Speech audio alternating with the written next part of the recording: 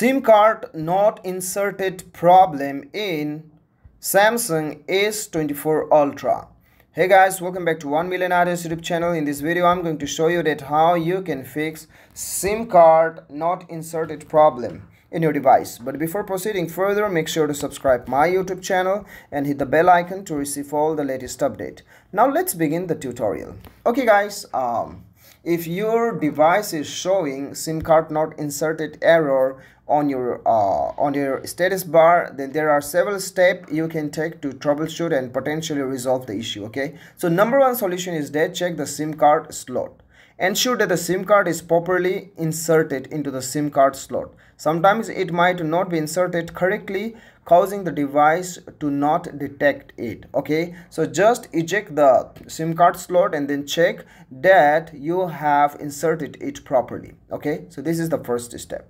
Now second thing is after doing this restart your device once sometimes a simple restart can resolve minor software glitches turn off your device and remove the sim card wait for a few seconds reinsert the sim card and then turn it on your device again okay and then check whether your problem is gone or not. If your problem is gone, that's great.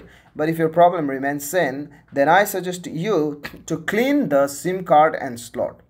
Dust or dirt accumulation in the SIM card slot or on the SIM card itself can interfere with proper detection. Use a clean dry cloth to gently wipe the SIM card and then the uh, and the slot removing any debris, okay? And the fourth solution is that try another SIM card. See, if possible, try using a different SIM card to determine whether the issue lies with the SIM card itself or with the device. If the new SIM card works, the original SIM card may be faulty. Okay, so just to ensure that you have the specific problem in your device or in your SIM card, you need to try another SIM card in your device. Okay, now the fifth solution is that check for the software update. Go to your mobile device setting and then scroll up and go to bottom and then click on software update and then check whether you have an update or not ensure that your device's software is up to date make sometimes software updates include bug fixes and improvement that can resolve compatibility issues in your device okay? Now after doing this sixth step is that go to your uh, mobile device settings and then go to general management.